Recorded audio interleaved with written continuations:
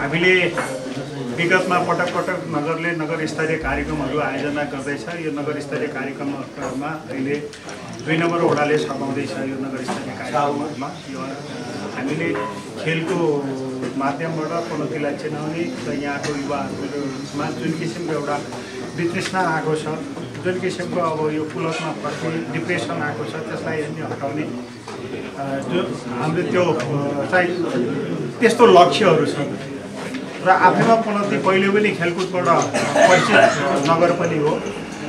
र विगतमा केही विभिन्न कालखण्डमा केही स्वस्थता चाहिँ आएको हो। त्यसमा अहिले निर्वाचित भएर आइसकेपछि विगतदेखि नै यो कार्यक्रमहरू अगाडि बढेका छ हामीले यसलाई अगाडि बढाउनुपर्छ धेरै चुनौतीहरू छन्। चुनौतीका बावजुद पनि हामीले यी कार्यक्रमहरू अगाडि बढाउन सकिएन भने हाम्रो नगरको पहिचान हुँदैन।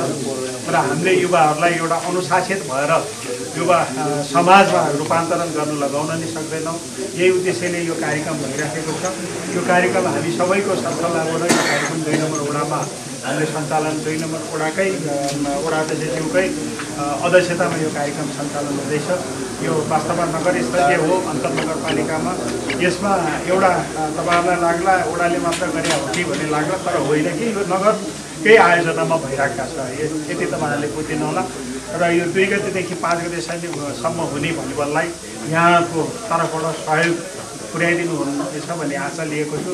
साथै नेपालीहरूको महान चाड विजयादशमी शुभ दीपावली छठ म पूजा लगायतका सम्पूर्ण चाडहरूको मा व्यक्तिगत तर्फबाट र नगरको तर्फबाट हार्दिक शुभकामना व्यक्त गर्न चाहन्छु। धन्यवाद इन्डोर एकदम उहाँहरूलाई चाहिँ अनुशासन रूपमा राखेर खेलाएपछि त्यसले एकदम राष्ट्रिय खेलाडी पनि भन्छ सबै गरेर ट्रेनिङ दिइराखेका हुनुहुन्छ। त्यस कारणले गर्दा तल्लो तहबाटै हामीले ट्रेनिङ दिएर उत्पादन गर्न सक्यो भनेदेखि काभ्रे एकदम राम्रो हुन्छ। नत्र भए हाम्रो चाहिँ बिचमा गएर सकिन्छ। अब हाम्रो काभ्रेमै कुरा गऱ्यो भनेदेखि यहीँ पनौती नगरपालिकाको राष्ट्रिय खेलाडी राम हुमागाईदेखि लिएर भलिबलमा धेरै खेलाडीहरू हुनुहुन्छ। कुनै समय यस्तो थियो म पनि मध्यमाञ्चलसम्मको खेलाडी हो कि भलिबलको। हामीले स्कुल तहमा पढ्दा पढ्दाखेरि मध्यमाञ्चलसम्म हामी गएर स्कुल लेभलमा प्लस टू लेभलमा चाहिँ जितेर पनि आएको थियो। खेलकुद पत्रकारिता गर्ने साथीहरूलाई पनि प्रोत्साहन गर्यो भने उहाँहरूले पनि यो यो विषयमा सहयोग गर्नुहुन्थ्यो जस्तो लाग्छ र यो बोल्ने मौका दिनुभयो। अरू कुरा त भयो भनेदेखि म पनि एउटा पहिलाको खेलाडी भएको हिसाबले अहिले पनि आज नि बिहान फुटबल खेलेर आएको होइन? भएको कारणले गर्दा के भन्छ यो का यो बोल्ने अवसर दिनुभयो। यो कार्य प्रतियोगिता सफलताको एकदम शुभकामना व्यक्त गर्दछौँ।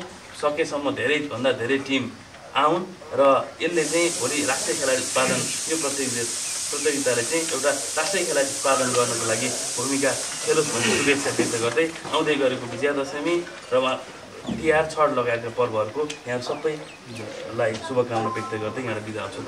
पर्यटकीय क्षेत्रमा र विशेष गरी खेलकुदको क्षेत्रमा विभिन्न कार्यक्रम आयोजना गरेको थियो। प्याराग्लाइडिङ काभ्रे जिल्लाको एउटा तर्खरमा छ। अ, यस्तै गरी यस्तै विभिन्न कार्यक्रमहरू पनौती वडा नम्बर दुईले यस अगाडि पनि गरिसकेको र विशेष गरी खेलकुदको माध्यमबाट अघि यहाँले भने जस्तो युवाहरूलाई एउटा सही मार्गमा अगाडि बढाउन र सत्मार्गमा अगाडि हिँडाउने उद्देश्यले यो प्रतियोगिता आयोजना भएको छ। यो प्रतियोगिताले आगामी दिनमा प्रतियोगिता सँगसँगै थप अघि यहाँले जुन जुन विषय उल्लेख गर्नुभएको छ विशेष गरी लागु औषध कुलत धुम्रपान मद्यपान यस्ता कुलतबाट पनि युवाहरूलाई छुटाउन अहिले पछिल्लो तथ्याङ्क हेर्ने हो भने पनि वार्षिक रूपमा प्रहरीको तथ्याङ्कमा मात्रै झन्डै तिसदेखि चालिसजना व्यक्तिहरू चाहिँ लागु औषध ओसार पसार वा प्रयोगमा प्रयोगकर्ताको रूपमा पक्राउ परेका अवस्था छ। थुप्रै अहिले तपाईँ हाम्रो घर दैलो वा घरभित्र पनि यो प्रवेश गरिसकेको सन्दर्भ छ। यस्तो अवस्थामा यस्ता प्रतियोगिताहरूले कम्तीमा व्यक्तिलाई एक्लोपनबाट यो सामूहिकता र सामूहिकबाट कम्तीमा जिल्ला स्तरीय अभियानमा लैजाने उद्देश्यले यो प्रतियोगिता आयोजना गर्नुभएको छ।